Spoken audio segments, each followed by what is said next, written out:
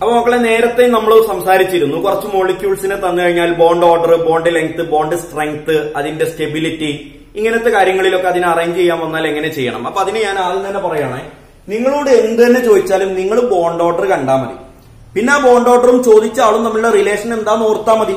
അപ്പൊ ക്വസ്റ്റ്യൻ എന്ത് തന്നെയാണെങ്കിലും നിങ്ങൾ ആദ്യം ബോണ്ട് ഓർഡർ കാണണം. ഇനി നിങ്ങളോട് ബോണ്ട് ലെങ്താ ചോദിച്ചതെങ്കിൽ ബോണ്ട് ഓർഡറും ബോണ്ട് ലെങ്ത്തും തമ്മിലുള്ള റിലേഷൻ അറിഞ്ഞിരിക്കണം. Bond order is inversely proportional to bond length അപ്പൊ ബോണ്ട് ഓർഡർ കൂടിക്കഴിഞ്ഞാൽ ബോണ്ട് ലെങ്ത് കുറയും.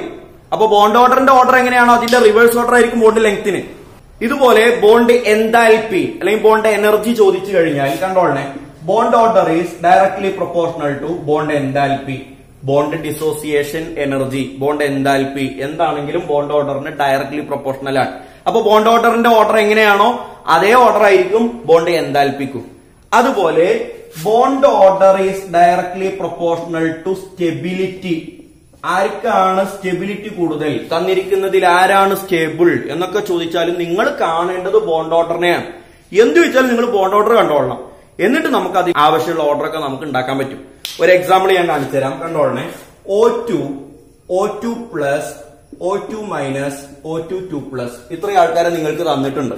ഈ തന്ന ആൾക്കാരെ ബോണ്ട് ലെങ്ത്തിന്റെ ഓർഡറിൽ അറേഞ്ച് ചെയ്യുക എന്നതാണ് ക്വസ്റ്റ്യൻ എന്ന് വിചാരിക്കും ഞാൻ വെറുതെ മനസ്സിൽ തോന്നിയ ഒരു ക്വസ്റ്റ്യൻ പറഞ്ഞാണ് എന്താണെങ്കിലും നമുക്ക് ചെയ്ത് നോക്കാം. ഞാൻ നിങ്ങളോട് പറഞ്ഞു ചോദ്യം ഇനി ബോണ്ട് ലെങ്ത് ആയാലും ബോണ്ട് സ്ട്രെങ്ത് ആയാലും ബോണ്ട് ഡിസോസിയേഷൻ എന്താൽപി ആയാലും സ്റ്റെബിലിറ്റി ആയാലും നിങ്ങൾ കാണേണ്ടത് ബോണ്ട് ഓർഡറിനെയാണ് ബോണ്ട് ഓർഡർ കാണാനുള്ള മെത്തേഡ് ഞാൻ നേരത്തെ നിങ്ങൾക്ക് പറഞ്ഞിട്ടുണ്ട്. അപ്പൊ അതിന് ആദ്യം നമുക്ക് നമ്പർ ഓഫ് ഇലക്ട്രോൺസ് ഒന്ന് എഴുതി നോക്കണം. ഇവിടെ ഞാൻ number of electrons എഴുതുകയാണെ. Number of electrons number of electrons നമുക്കറിയാം ഒ ടു എന്ന് പറഞ്ഞാൽ രണ്ട് ഓക്സിജൻ പതിനാറ് ഇലക്ട്രോൺസ് ആണ്. ഞാൻ ഇവിടെ എഴുതുന്നുണ്ട് പതിനാറ് electrons O two plus plus വന്നാൽ ഒരു ഇലക്ട്രോൺ പോയി എന്നാണല്ലോ അതിനർത്ഥം. അപ്പൊ പതിനാറിൽ നിന്ന് ഒന്ന് പോയി. ബാക്കി എത്ര ഉണ്ട്?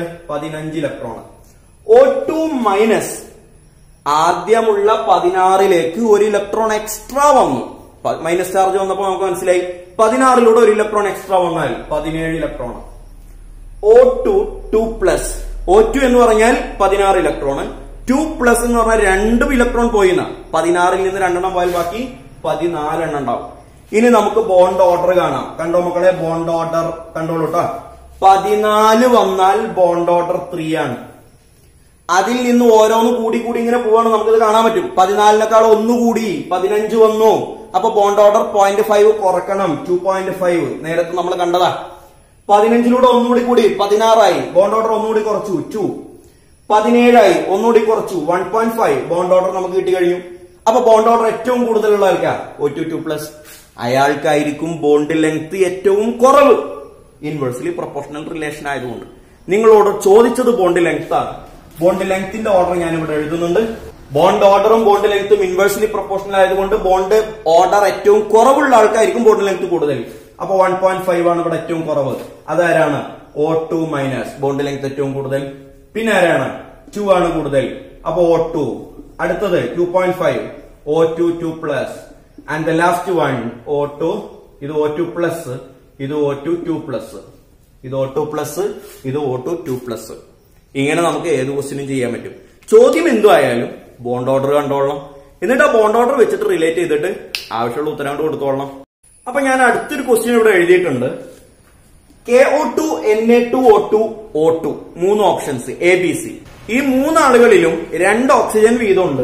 O two O two O two എല്ലാത്തിലും രണ്ട് ഓക്സിജൻ ഉണ്ട്. എന്റെ ചോദ്യം ഇതാണ് ഓക്സിജൻ ഓക്സിജൻ ബോണ്ട് ലെങ്ത്തിന്റെ ഓർഡറിൽ ഇവരെ അറേഞ്ച് ചെയ്യുക. അപ്പൊ എന്റെ ക്വസ്റ്റ്യൻ ഇതാണ് K O two N A two O two O two എന്നതിലുള്ള oxygen oxygen bond length oxygen oxygen തമ്മിലുള്ള ബോണ്ട് ലെങ്ത്തിന്റെ ഓർഡറിൽ അറേഞ്ച് ചെയ്യുക. അപ്പൊ അതിന് ആദ്യം വേണ്ടത് കെ ഒ ടു എന്ന് പറഞ്ഞാൽ അതിൽ ആരാണ് കാറ്റയോൺ? ആരാണ് അനയോൺ എന്ന് ഞാൻ അതിൽ സെപ്പറേറ്റ് ചെയ്തിട്ട് എഴുതുകയാണ്. ഇത് ഇവിടെ കെ പ്ലസ് ഉണ്ടാകും. കെ പ്ലസ് ഉണ്ടാകും. അപ്പൊ ആ പോസിറ്റീവ് ചാർജിനെ ബാലൻസ് ചെയ്യാനുള്ള ഒരു നെഗറ്റീവ് ചാർജ് മാത്രമേ ഒ ടു എന്ന് പറയുന്ന ആൾക്ക് ഉണ്ടാവുള്ളൂ. അപ്പൊ അതിനെ ഞാൻ ഒ ടു മൈനസ് എന്ന് എഴുതി. ഇത് ഇവിടെ തന്നെ രണ്ട് എൻ എ ഉണ്ട്. അപ്പൊ അതിന്റെ cations two N A plus ആയിരിക്കും. ടു എൻ എ പ്ലസ് അപ്പൊ ടു എൻ എ പ്ലസ് എന്ന് പറഞ്ഞാൽ രണ്ട് പോസിറ്റീവ് ചാർജിനെ ബാലൻസ് ചെയ്യാനുള്ള രണ്ട് മൈനസ് ചാർജ് ഓ ടുവിന് ഉണ്ടാവുമല്ലോ. അപ്പൊ ഓ ടു ടു മൈനസ് എന്ന് എഴുതി. ഒ ടു ടു മൈനസ് ഇതാണ് ഇവിടുത്തെ ഓ ടു ഇവിടെ ഓ ടു മാത്രമേ ഉള്ളൂ. എന്ന് പറഞ്ഞാൽ അതിന് പോസിറ്റീവ് ചാർജും ഇല്ല നെഗറ്റീവ് ചാർജും ഇല്ല. അപ്പൊ അതിനെ ഞാൻ ഓ ടു എന്ന് തന്നെ എഴുതി. ഇനി നമ്മൾ നേരത്തെ കണ്ടതുപോലെ ബോണ്ട് ഓർഡർ കാണണം. ഞാൻ പറഞ്ഞു നിങ്ങളോട് എന്ത് ചോദിച്ചാലും നിങ്ങൾ ബോണ്ട് ഓർഡർ കണ്ടോളണം. ഓ ടു മൈനസ് എത്ര ഇലക്ട്രോൺ ഉണ്ട്? ആണെങ്കിൽ പതിനാറായിരുന്നു. ഒരു മൈനസ് ഉള്ളത് കൊണ്ട് പതിനേഴ് വന്നു. അപ്പൊ അവിടുത്തെ ബോണ്ട് ഓർഡർ എത്ര? ബോണ്ട് ഓർഡർ എത്ര? പതിനാല് പതിനഞ്ച് പതിനാറ് പതിനേഴ്. അല്ലെ? പതിനാലിന് മൂന്ന്. രണ്ട് പോയിന്റ് അഞ്ച്. രണ്ട് ഒന്ന് പോയിന്റ് അഞ്ച്. Bond order one point five O two two minus എന്ന് പറഞ്ഞാൽ നമ്പർ ഓഫ് ഇലക്ട്രോൺസ് പതിനെട്ട് വരും. ഒ ടുവിന്റെ പതിനാറും രണ്ട് മൈനസ് എക്സ്ട്രയും പതിനെട്ട് വരും. ബോണ്ട് ഓർഡർ എത്ര? ഒന്നുകൂടി കുറയും. വൺ പോയിന്റ് ഫൈവിൽ നിന്ന് ഒന്നുകൂടി കുറയും. വണ്ണ് ഇവിടെ പതിനേഴായിരുന്നു ഇത് പതിനെട്ടായി. അപ്പൊ ബോണ്ട് ഓർഡർ പോയിന്റ് ഫൈവ് കുറഞ്ഞു. വൺ പോയിന്റ് ഫൈവ് ഉള്ളത് വൺ ആയി. ഓ ടു ആകുമ്പോൾ പതിനാറ്. ബോണ്ട് ഓർഡർ ടു ബോണ്ട് ഓർഡറിന്റെ ഓർഡർ കിട്ടി കഴിഞ്ഞാൽ ബോണ്ട് ലെങ്ത് സിമ്പിൾ ആയിട്ട് കാണാം. ഏറ്റവും കൂടുതൽ ബോണ്ട് ലെങ്ത് ഉള്ളതായിരിക്കാം. ഏറ്റവും കുറവ് ബോണ്ട് ഓർഡർ ഉള്ള ആൾക്ക് അത് ഇവിടെയാണ്. അതുകൊണ്ട് ഓപ്ഷൻ ബി പിന്നെ ആയിരിക്കാം ഓപ്ഷൻ എ പിന്നെ ആയിരിക്കാം ഓപ്ഷൻ സി ആൻസർ കിട്ടി കഴിഞ്ഞു വളരെ പ്രധാനപ്പെട്ട ഒരു പോയിന്റ് ആണ്. ഇനി അടുത്തതായിട്ട് ഞാൻ നിങ്ങളോട് പറയാൻ പോകുന്നത്. അപ്പൊ മക്കളെ മെജോറിറ്റി ഓഫ് സ്റ്റുഡൻസിനും മനസ്സിൽ തോന്നാതെ പോയ ഒരു ഡൗട്ട് ഉണ്ട്. വളരെ കുറഞ്ഞ ശതമാനം ആൾക്കാർക്ക് മാത്രമേ ഡൗട്ട് തോന്നിയിട്ടുണ്ടാവുള്ളൂ. ആ ഒരു ഡൗട്ട് ഞാൻ ആദ്യം തന്നെ ഉണ്ടാക്കി തരാണ് അതായത് കണ്ടോളണേ. അപ് ടു നൈട്രജനും എബവ് നൈട്രജനും നമ്മൾ ഡിഫറെന്റ് ഓർഡർ പഠിച്ചല്ലോ.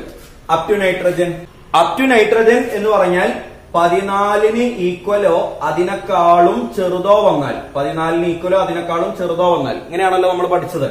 അതുപോലെ എബവ് നൈട്രജൻ എബവ് നൈട്രജൻ എന്ന് പറഞ്ഞാൽ പതിനഞ്ചിന് ഈക്വലോ അതിനേക്കാളും വലുതോ വന്നാൽ. ഇങ്ങനെയാണല്ലോ നമ്മൾ പഠിച്ചത്. അതിന്റെ ഓർഡർ പെട്ടെന്ന് ഓർക്കാൻ ഞാൻ പറഞ്ഞിരുന്നു. പതിനാലാവുമ്പോൾ നാല് എന്ന് ഓർക്കുക. ഒന്ന് രണ്ട് മൂന്ന് നാലെണ്ണം ഇടുക. പിന്നെ ഇങ്ങനെ. ഇതേ കഴിഞ്ഞു. നമുക്ക് അതിന്റെ ഓർഡർ കിട്ടി. അപ്പൊ ഇതാരാണ്? Sigma one sigma star one sigma two S sigma star two S pi two P X pi two P Y sigma two P Z pi star two P X pi star two P sigma star two P Z ഇവിടെയാണല്ലോ നമ്മുടെ പ്രശ്നം വരുന്നത്. ഈ രണ്ടാൾക്കാർ അങ്ങോട്ടും ഇങ്ങോട്ടും മാറ്റി മാറ്റി പറഞ്ഞാലാണ് നമുക്ക് above nitrogen കിട്ടുക. അപ്പൊ എങ്ങനെ ഉണ്ടാവും? ഈ ഒറ്റ വരയെ ഞാൻ താഴോട്ട് ഇറക്കണം രണ്ട് വരെയും മുകളിലോട്ട് കയറ്റണം. ഒന്ന് രണ്ട് മൂന്ന് നാല് അഞ്ച് വരെ ഒന്നിച്ചു വരും. Pi two P X pi two P Y pi star two P X pi star two P Y sigma star two P Z ഇങ്ങനെയാണ് നമുക്ക് വന്നിരുന്നത്. എന്റെ ചോദ്യം ഇതാണ്. ഇതാരാ മക്കളെ? ഇത് പൈ ടു പി എക്സ് ആണ്. ഇതാരാണ്? പൈ ടു പി വൈ ആണ്. ഈ മുകളിൽ കാണുന്ന ആരാണ്? സിഗ്മ ടു പി സെഡ് ആണ്. സിഗ്മ ടു പി സെഡ് എന്റെ ചോദ്യം. അപ് ടു നൈട്രജനിൽ സിഗ്മ ടു പി സെഡിന്റെ എനർജി കൂടുതലോ കുറവോ?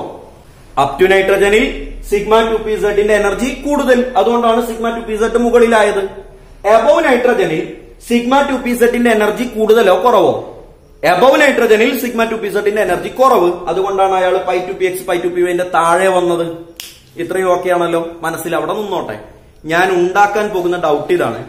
അപ് ടു നൈട്രജൻ എന്ന് പറയുമ്പോൾ മാക്സിമം പതിനാലിലേ വരുള്ളൂ.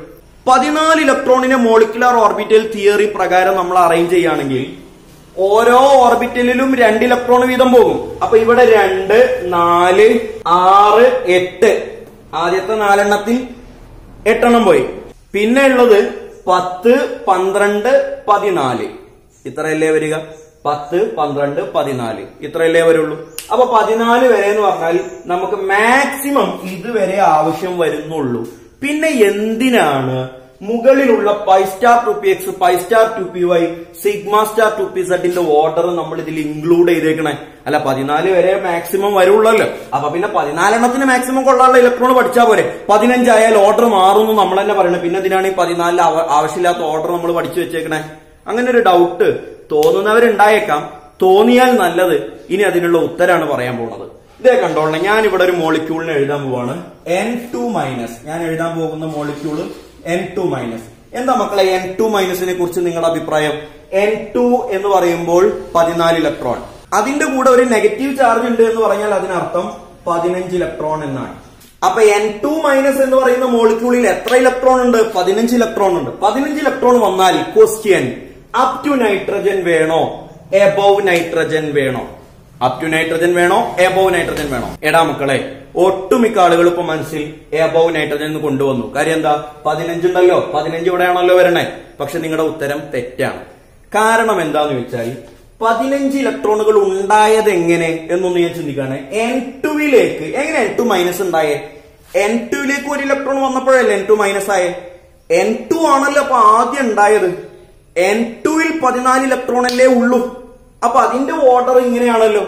അതിലേക്ക് ഒരു ഇലക്ട്രോൺ കൂടിയാണ് വരുന്നത്. അപ്പൊ ഈ ഓർഡറിലേക്ക് ഒരു ഇലക്ട്രോൺ കൂടി ഫില്ല് ചെയ്തിട്ട് വേണം നമ്മൾ അതിന്റെ ഇലക്ട്രോണിക് കോൺഫിഗറേഷൻ നടത്താൻ.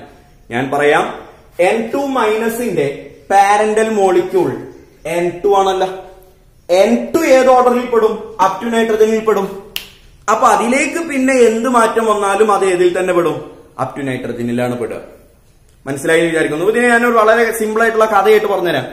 നമ്മളൊരു വീടിന് പ്ലാൻ വരക്കുകയാണ് അപ്പൊ പതിനാല് ആൾക്കാർ വരെ നമുക്ക് ഒരു പ്ലാനും പതിനഞ്ച് ആൾക്കാരാണെങ്കിൽ വേറെ പ്ലാനും ആണ്. അപ്പൊ ഒരു വീട്ടിൽ പതിനാല് ആളുണ്ട് അയാൾക്ക് പ്ലാൻ എ ഒരു വീട്ടിൽ പതിനേഴ് ആളുണ്ട് അയാൾക്ക് പ്ലാൻ ബി ഇങ്ങനെയാണ് നമ്മുടെ ഒരു സിസ്റ്റം അങ്ങനെ ഒരു വീട്ടിൽ പതിനാല് ആളുണ്ടായിരുന്നു. അയാൾക്ക് പ്ലാൻ എ വെച്ച് അയാൾ വീടൊക്കെ ഉണ്ടാക്കി. അയാൾ വീടൊക്കെ ഉണ്ടാക്കി കഴിഞ്ഞതിന് ഒരുപാട് കാലത്തിന് ശേഷം അതിലെ മെമ്പർ കൂടി പതിനഞ്ചാളായി പതിനഞ്ചാളായി കഴിഞ്ഞാൽ പഴയ പ്ലാനിന്റെ നിയമം ഓർത്തിട്ട് ഈ പതിനാല് ആൾക്കാർക്കുള്ള വീട് പൊളിച്ചിട്ട് പുതിയ വീട് ഉണ്ടാക്കുവോ? അതോ പതിനഞ്ചാമനെ എങ്ങനെയെങ്കിലും അഡ്ജസ്റ്റ് ചെയ്യോ? പതിനഞ്ചാമനെ അഡ്ജസ്റ്റ് ചെയ്യും. അതേ പരിപാടി നൈട്രജനും ചെയ്തിട്ടുള്ളൂ. നൈട്രജൻ ഉണ്ടാകുന്ന സമയത്ത് അയാൾക്ക് അറിയോ ഒരു ഇലക്ട്രോൺ കൂടി എക്സ്ട്രാ വരാനുണ്ട് എന്നൊക്കെ? ഇല്ല. നൈട്രജൻ ഉണ്ടായി. അപ്പൊ പതിനാല് ഇലക്ട്രോണേ ഉണ്ടായിരുന്നുള്ളൂ. അപ്പൊ പതിനാല് ഇലക്ട്രോണിന്റെ ഓർഡർ ആയിട്ടുള്ള അപ് ടു നൈട്രജൻ വരെ അയാളുടെ മോളിക്കുലാർ ഓർബിറ്റൽസ് ആ ഓർഡറിൽ സെറ്റ് ചെയ്ത് വെച്ചതാണ്. ഇനി അതിലേക്ക് ഒരു ഇലക്ട്രോൺ കൂടി വന്നാൽ ഈ ഓർഡറിൽ തന്നെ ഒന്ന് ഇൻക്ലൂഡ് ചെയ്യാനാണ് നമ്മൾ നോക്കേണ്ടത്. ഇതിന്റെ നേരെ ഓപ്പോസിറ്റ് ആയിട്ടുള്ള ഒരു വശം കൂടി ഉണ്ട്. ഒരു ഉദാഹരണം ഞാൻ പറഞ്ഞുതരാം. അപ്പൊ എൻ ടു അവിടെ തീരുന്നു. എൻ ടുവിന് എങ്ങനെയാണോ അങ്ങനെ തന്നെയാണ് എൻ ടു മൈനസിന് ഉണ്ടാവുക എന്ന് ഓർത്തു വെക്കുക. അപ്പൊ പതിനഞ്ച് ഇലക്ട്രോൺ ഇവിടെയാണ് ഫില്ല് ചെയ്യേണ്ടത്. ഇതാണ് ഞാൻ നേരത്തെ പറഞ്ഞത് അപ് ടു നൈട്രജന് ഏഴെണ്ണം വരെ പഠിച്ചാൽ മതിയെങ്കിൽ ബാക്കി മൂന്നെണ്ണം എന്തിനാണ്? അതിലേക്ക് വീണ്ടും എത്ര ഇലക്ട്രോൺ വന്നാലും ഫില്ല് ചെയ്യേണ്ടത് ഈ ഓർബിറ്റലുകളിലാണ് അപ്പൊ അതിന് ഓർഡർ മാറാതെ തന്നെ ഇവിടൊക്കെ ഫില്ലിങ് വരും. മനസ്സിലായി എന്ന് വിചാരിക്കുന്നു. അപ്പൊ ഇനി ഞാൻ വേറൊരാളെ ഞാൻ ഇവിടെ പറഞ്ഞുതരാം. എൻ ഒ പ്ലസ് വന്നു. എൻ ഒ പ്ലസ് മക്കളെ എൻ എന്ന് പറഞ്ഞാൽ നൈട്രജൻ ഏഴ് ഇലക്ട്രോൺ ഒ എന്ന് പറഞ്ഞാൽ ഓക്സിജൻ എട്ട് ഇലക്ട്രോൺ അപ്പൊ എൻ ഒ എന്ന് പറഞ്ഞാൽ ഏഴ് പ്ലസ് എട്ട് പതിനഞ്ച് ഇലക്ട്രോൺ ഓക്കെ ആണല്ലോ? അതിലേക്ക് ഒരു പോസിറ്റീവ് ചാർജ് പോസിറ്റീവ് ചാർജ് എന്ന് പറഞ്ഞാൽ ഒരു ഇലക്ട്രോൺ പോയി എന്നാ പതിനഞ്ചിൽ നിന്ന് ഒന്ന് പോയി. ബാക്കി എത്ര?